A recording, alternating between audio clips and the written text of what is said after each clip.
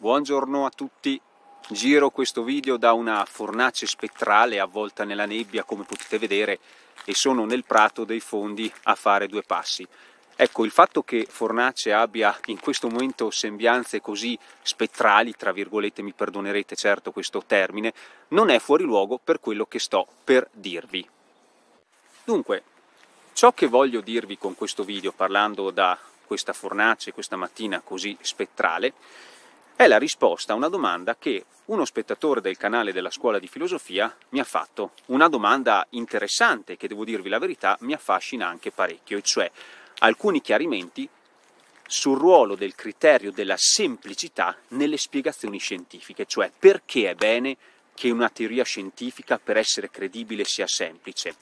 Ora sappiamo fin da tempi immemori che eh, non è bene moltiplicare in vano i principi quando si desidera spiegare un qualcosa, un oggetto, un fenomeno o quant'altro. Ecco che qua subito si potrebbe dire, ah sì, è il famoso rasoio di Occam. No, in realtà l'aveva già detto Aristotele molti secoli prima di Occam. Comunque il principio è lo stesso, non complicare inutilmente la spiegazione. E su questo, va bene, ci siamo. Allora, io ricordo, quando ero ragazzo, adesso ho 40 anni e quando avevo 20-25 anni, si narrava una storia circa una casa diroccata che si trova in un comune vicino a Fornace, un comune circa 4 o 5 volte eh, maggiore di Fornace in termini di popolazione. Dovete sapere che in una frazione di questo comune esiste appunto una casa diroccata da tempo lungo, non ho idea di quanto circa, ma da molto tempo, disabitata. È una casa diroccata, permanentemente all'ombra e che dà direttamente su una strada provinciale. Io ricordo che dei ragazzi raccontavano una storia, devo dire la verità, molto divertente sulle motivazioni relative al perché nessuno desideri abitare quella casa, nessuno voglia acquistarla e metterla a nuovo.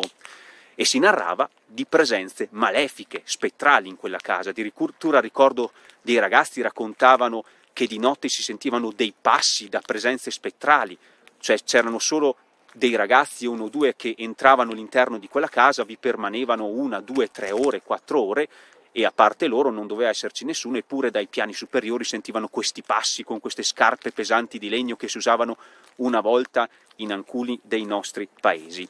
Ecco, e questa era la spiegazione che si dava. Allora, è una spiegazione credibile sul motivo del perché nessuno abiti quella casa? Beh, credo che ognuno di voi possa convenire di no, a meno che a meno che non si voglia cadere nel ridicolo, nessuno darebbe retta a questa storiella dei fantasmi, divertente ma francamente non credibile. Analizziamo allora razionalmente la situazione. Qual è la spiegazione scientificamente più accettabile per, non, eh, per il fatto che quella casa non sia abitata? Consideriamo i fatti per quanto realmente sono. Primo, è una casa permanentemente all'ombra, quindi mai batte il sole su di essa, quindi depressione, no? Secondo, è una casa diroccata e voi sapete che per rimettere a nuovo una casa occorrono parecchi soldi. Mettere a nuovo una casa, fare un investimento enorme per una casa permanentemente all'ombra. Terzo, è una casa che dà direttamente su una strada provinciale, quindi come una persona, un eventuale abitante mettesse il piede fuori dalla porta di casa sarebbe già sulla carreggiata, cioè sulla zona di transito e vi assicuro che su una strada provinciale i veicoli non vanno ai 50 all'ora. Ecco, questo significa attenersi al criterio di, sem- di semplicità e prediligere la spiegazione eh, più semplice rispetto a spiegazioni più complesse che francamente complicano inutilmente la storia anche in maniera non credibile. Ricordiamo sempre che una teoria scientifica deve essere anche una teoria credibile deve basarsi su degli argomenti di credibilità. Questo non significa necessariamente che debba essere materialistica o eh, materialista o attenersi a principi materialisti, ma deve essere credibile, deve avere un fondamento razionale. Nel caso della casa, scusate di Roccata, è chiaro quale sia la storia, la spiegazione preferibile fra le due, quale sia la più razionale e anche la più scientifica.